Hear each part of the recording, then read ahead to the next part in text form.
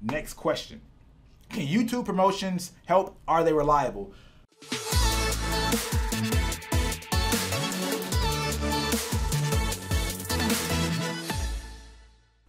Yes, yes, yes. Um, David Dot.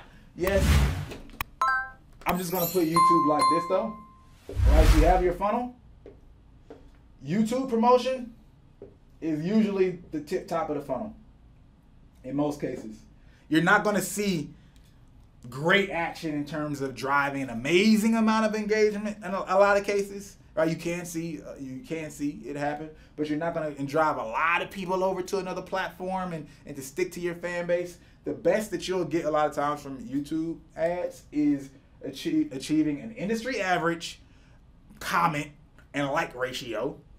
And then on top of that you'll receive subscribers. And you have to do enough of them to know how the um, the ad is performing in terms of I got this many subscribers on this song and I got that many subscribers from uh, for, on another song. We've taken people from zero to a thousand subscribers off of like eight mm, no a thousand dollars about a thousand dollars right we've seen that happen but we also spent three four thousand dollars and only seen somebody's subscribers go up like 300 people you get what i'm saying? So that's something that you can gauge and that helps right? Then, then move down the funnel but for most part it's going to be a top of the funnel thing which means you're just looking for a little bit of views and awareness. They might not even click into your video. They just see the ad through um, they see the ad and that's it. So they just get used to hearing the song. Maybe they hear it three times and then cl- go click over or maybe they just hear it there but then they see a facebook ad because you're targeting something similar um, on that platform and now i'm starting to make connection, connections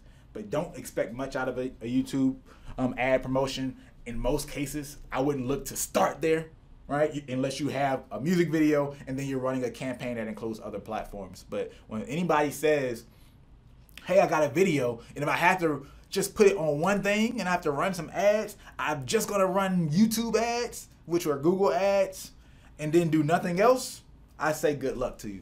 Because it's almost as good as a play, playlist campaign, right? You're going to get these surface level views, surface level listens, but you're not going to see much happen after that.